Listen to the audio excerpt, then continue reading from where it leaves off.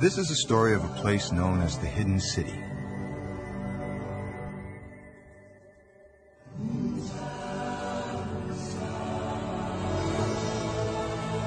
The Hidden City is the oldest and largest city on Earth.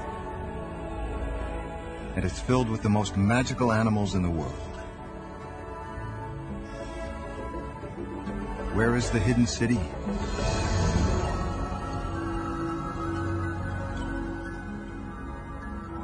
The Hidden City is also known as the Living Reef because it supports a greater diversity of life than any other place on Earth.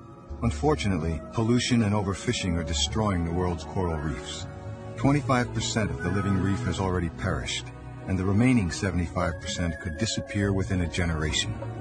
Which won't just affect the clownfish, the grouper, or the eel, it'll affect us all. The living reef protects our coastlines. It supports a quarter of all marine life. The living reef is a source for medicine and may even provide cures for some of life's most threatening diseases. The living reef may be hidden, but the message is clear. Protect the living reef, and we protect the ocean. Protect the ocean, and we protect ourselves.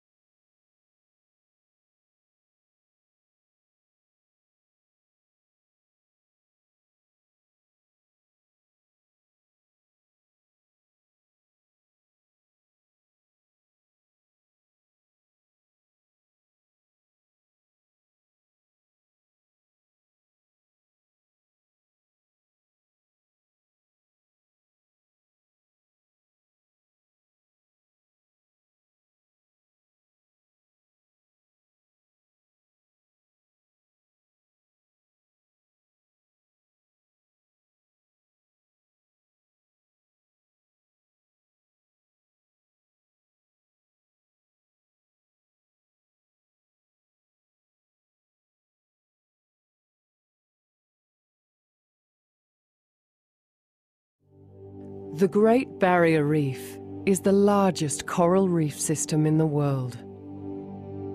It is home to 1,500 species of fish, 360 species of hard coral, one third of the world's soft corals, 22 species of seabirds, and 32 species of shorebirds.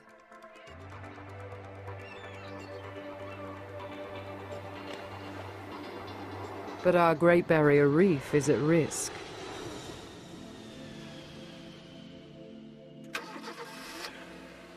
Climate change is warming our oceans.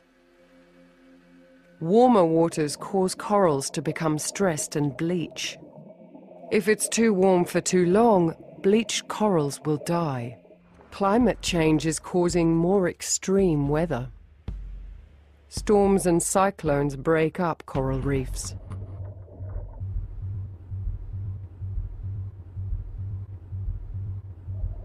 Increased flooding pollutes the reef. Fish move to cooler offshore waters. This means less food for seabirds.